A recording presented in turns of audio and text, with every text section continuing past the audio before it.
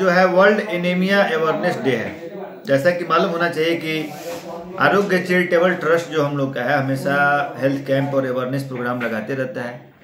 तो चलाते रहते हैं अवेयरनेस प्रोग्राम एनीमिया में हम लोग एनीमिया पे बहुत सारे अवेयरनेस प्रोग्राम हम लोग किए हैं। बहुत गाँव में जाके हम लोग फ्री में हीमोग्लोबिन का चेक करते हैं आयरन का टेबलेट बांटते हैं। तो इसलिए हमने सोचा कि आज जो है वर्ल्ड एनीमिया अवेयरनेस डे है।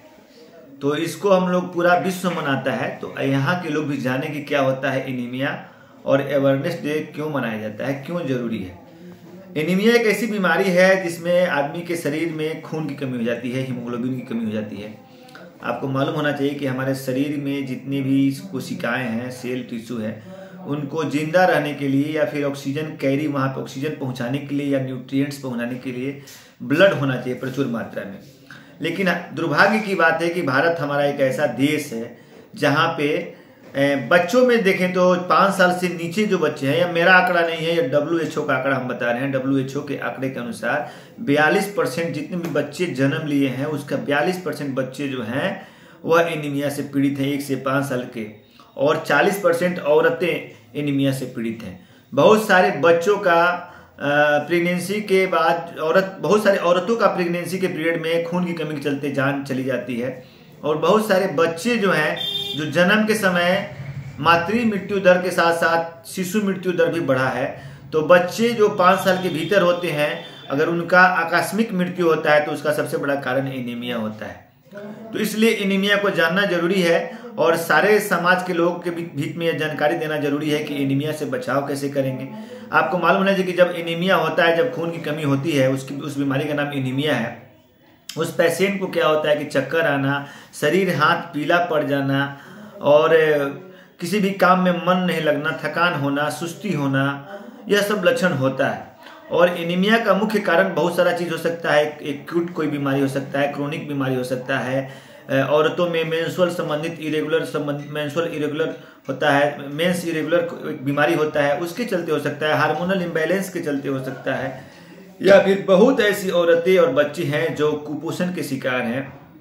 जिनको उचित मात्रा में डाइट और पोषण तत्व तो नहीं मिल पाता है, और उसके चलते उनका जान चला जाता है, या एनीमिया की कमी हो जाती है, और एनीमिया की कमी के चलते उनका जान, जाने का डर रहता है। तो सबसे पहले इसलिए सभी लोगों को चाहिए कि खाना में प्रचुर पोषण तत्व, प्रचुर पोषण आहार लें, जिसमें आयरन और फोलिक एसिड की मात्रा प्रचुर मात्रा में हो, जैसे हरे पत्तेदार सब्ज़ियाँ होता है, फल होता है, यह सब का सेवन करना चाहिए और हर छः महीना पर बच्चे को या किसी भी आम आदमी को छः महीना पर क्या होता है कि आपको कीड़ा का दवा खाना चाहिए, क्योंकि कीड़ा में एक होता है हुक वर्म और एक होता है राउंड वर्म राउंड वर्म क्या होता है कि वह आपका जो खाना जो हमारा पचता है तो डाइजेस्टिव जूस के रूप में जो कन्वर्ट होता है तो डाइजेस्टिव जूस को पी लेता है। खाना पक के तैयार हुआ डाइजेशन के लिए जो जूस निकला और डाइजेस्टिव जो खाना के जो मेन न्यूट्रिएंट्स जो है उसको सक कर लेता है। और दूसरा एक होता है हुक वार्म हुक वार्म क्या करता है कि हमारे शरीर का ब्लड को सक करता है। तो ब्लड पैरासाइट है। तो इसलिए छः छः महीना पे खाएँगे तो आयरन का दवा नहीं होगा। आयरन का दवा नहीं खाना पड़ेगा। आयरन की कमी नहीं होगी। और बच्चों में यह हैबिट होना चाहिए कि हैंड वॉश करके खाएँ। क्योंकि हैंड वॉश अगर करेंगे प्रॉपर रूप से तो क्या हो जाएगा कि पैरासाइटिक इन्फेक्शन जो है फिकल ओरल रूट से जो पड़ता है उसको स्प्रेड होने का चांस कम रहेगा और एनीमिया की कमी नहीं होगी। और खास करके बच्चों में जो होता है, एक से पाँच साल के बच्चे जो होते हैं, उनको अंडा दूध डेयरी प्रोडक्ट का सामान जो होता है, हरा सब्ज़ी, पत्तेदार, पालक का सब्ज़ी तो यह सब फ्रूट्स वगैरह का सेवन ज़्यादा करना चाहिए, बच्चों को इसके लिए इंक्रेज करना चाहिए। और समाज के सभी लोगों को एनीमिया के होने वाले खतरों को बताना, बचा, बताना चाहिए ताकि शिशु मृत्यु दर और मातृ मृत्यु दर में कमी आ सके।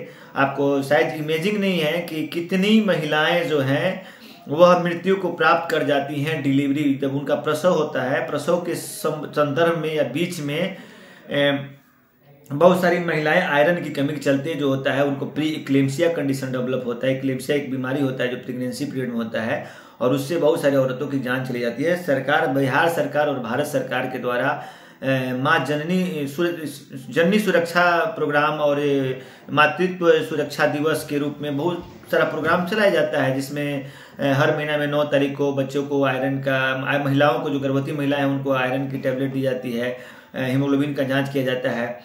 तो जननी सुरक्षा प्रोग्राम भी चलाया जाता है और हर आंगनबाड़ी सेंटरों में, हर सरकारी संस्थानों में सरकार के द्वारा भी आयरन की दवा प्रोवाइड की जाती है। सरकारी हॉस्पिटलों में आयरन की दवा मुफ़्त में प्रदान की जाती है।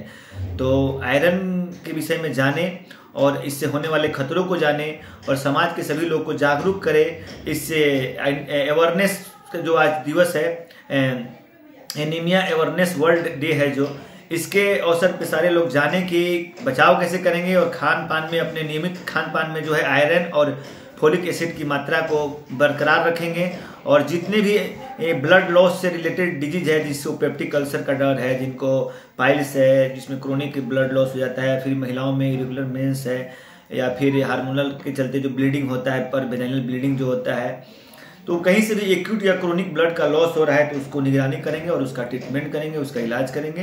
प्रचुर मात्रा में आयरन और फोलिक एसिड का सेवन करेंगे। इसी तरह हमारा संस्थान लगातार जो है इस पे काम करते रहेगा ताकि समाज के लोगों को जितना फ़ायदा मिल सके। और हम लोग पहले भी लगाते थे, अभी भी लगा रहे हैं और आगे भी एनीमिया पर अवेयरनेस कैंप एनीमिया की जाँच के लिए हीमोग्लोबिन की जाँच आयरन की दवा जितना संभव हो सकेगा। हमारा आरोग्य चैरिटेबल ट्रस्ट उसको प्रोवाइड करते रहेगा और हम लोग इस पर काम करते रहेंगे। जय हिंद।